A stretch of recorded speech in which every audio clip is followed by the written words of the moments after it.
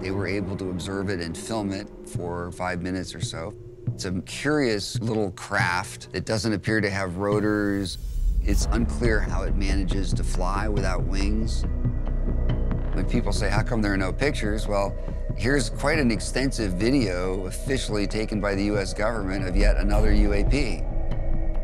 The Aguadilla video was shuffled around in Homeland Security, and apparently they sent a copy of the video to the Air Force and said, could you guys tell us what this is? And the Air Force replied back, why don't you contact a, a civilian UFO group? And so that's how we got access to the video.